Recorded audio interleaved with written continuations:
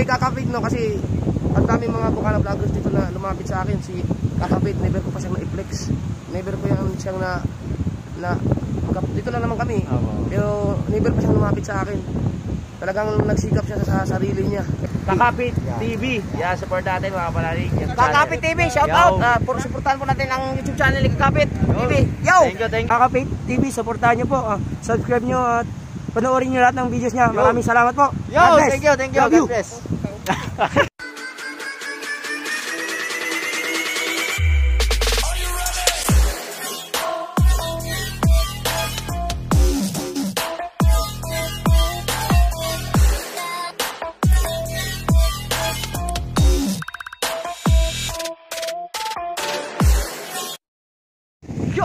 what's up mga kakapit dyan? Panibagong araw, panibagong vlog at panibagong gupit yan.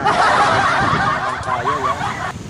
At tayo ay ano, ah, nandito na naman tayo sa dagat yan. ah, tuwing hapon, talagang ang sarap dito sa dagat eh.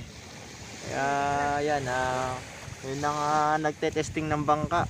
Parang isang bangka dito ay kay ano, ay Kabugoy. Yun ah, panoodin natin guys at kung ano at kung hindi ka pa nakaka-subscribe sa aking channel huwag kalimutan mag-subscribe and click the notification bell para lagi kang updated sa aking mga videos. Yan so yan uh, natin. Wala nang intro intro pero nag intro ko so let's go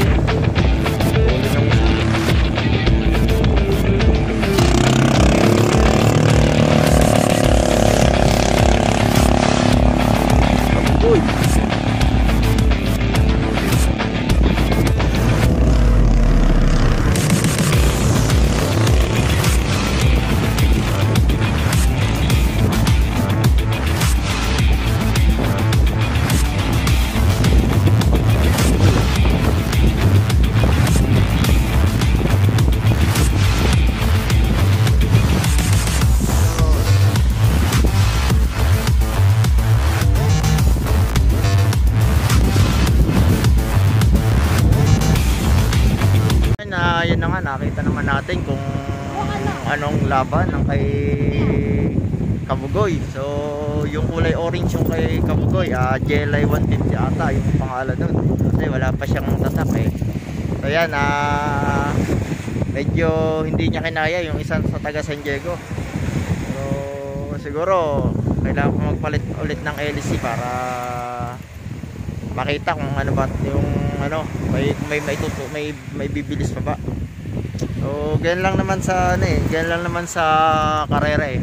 Hanapan lang ng LC yan. Ah, op, at pa- parang may nasilip na bata. Ah, hi ka muna, hi. Hi. Hi guys. Yan. Ah, ayan, maman. Ah, hi ka muna sa kanila. Hi guys. Yan. Ah, so kasama ko nga pala ang aking pamangkin, si, ang aking asawa. Yan, ang aking asawa. Sino yan? So yan, ah, mga kakapit.